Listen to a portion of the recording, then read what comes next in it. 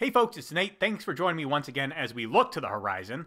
I am back with your weekly writing update, and I hope you are enjoying the new content coming out on the blog. I see a lot of you over there visiting on a week to week basis, and I'm glad for all the new people who are showing up to take a look at what I'm doing. Um, this week has been pretty productive for me on things that are largely behind the scenes.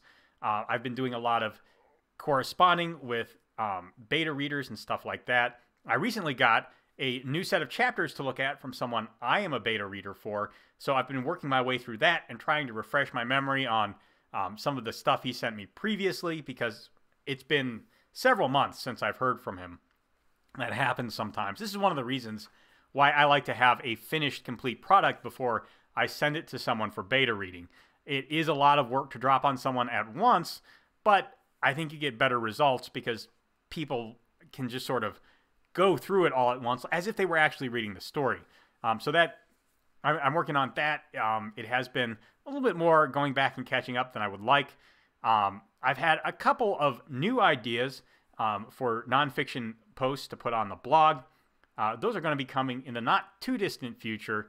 Um, I don't think I want to tack them just on the end of what I've written. I want to kind of work them in with some related subjects. Um, so I haven't actually sat down and worked on any of those, but um, they're they're on the list. Let's say they're on the list of things to do. Um, so things I have been doing a lot of this week. I've been working on the outline for a candle in the wind. Um, that outline is now about half done. So I've made actually really fast progress on that. Um, usually outlining takes me about three weeks, but that has also assumed that I've been working on other projects um, writing nonstop alongside it, and I really haven't been. So I actually hope to be done with the outlining process in another two or three days. And once that's done, I can begin looking at where I want chapter breaks to be um, about. I, I didn't used to be able to do this, but now I think I can um, definitively say um, where, where chapter breaks can be um, because I have a, a pretty solid grasp, I think, on how many words are going to go into each point on my outline now. I've been doing this long enough um, that I feel confident in saying chapter breaks will be right about there, right?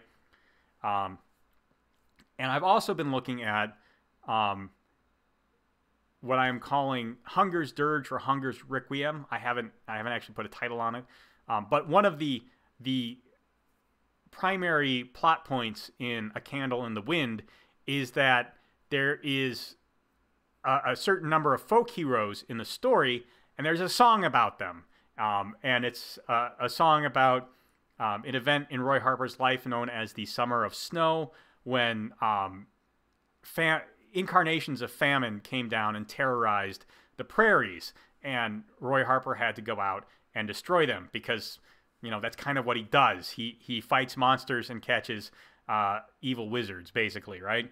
Um, in in the old west with magic. You know, that's the that's the shtick. That's his shtick, right? And uh, he's kind of a folk hero and kind of embarrassed by that fact. Um, I I want to have this folk song about these folk heroes, Roy Harper and some of the other people he's met, um, doing this thing that leaves them all very embarrassed. So I'm I'm trying to put this song together and have it be authentic to the time period, also a little bit cringy, you know um, maybe it, it does tell an important story about people who did something important, but it's also something that kind of embarrasses them. So that's a delicate balance to walk right off the bat. I'm not the world's greatest poet either. Um, so I I have written a couple of stanzas for it. I don't like any of them. I'm probably gonna revise them all a lot. I know poets wind up revising their work a lot, so hopefully um, I'll be in good company there. Uh, so I, I'm working on that. It is another fun little adventure. Um, I try and do something that stretches me as a writer in every story I write, and for this one, it will be uh, probably this this folk song thing that we'll, we'll see. I'll, I'll keep bringing you updates on that front, um, as with all my other stuff. Um, let's see other writing projects I am working on. Um, I have the outline for Savior in the Sewers on the back burner right now, so I'm not actually working on that. Oh, I, I, am working on a short for Iron Age Media. Um, the prompt for this week I guess last week by the time this goes up, um, was called The Observer, which was a very interesting looking bathysphere in space kind of thing. And uh, I have a fun approach for storytelling that I want to do in that.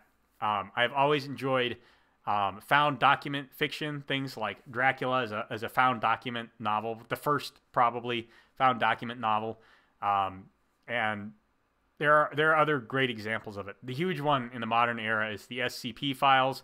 If you're familiar with those, that's a very found documents kind of a adventure um, right there. So I'm thinking of doing something like that.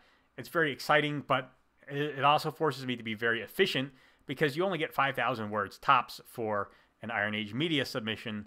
Um, so I'm thinking about that. And of course, one of my writing goals is to win the popular vote in at least one of Iron Age Media's weekly story contests. So got to get cracking on that. But in the meantime, um, that's that's what I'm doing this week. Let me know what you think down in the comments below. There's a like button and a subscribe button down there. You can use those as you see fit, and I'll talk to you later.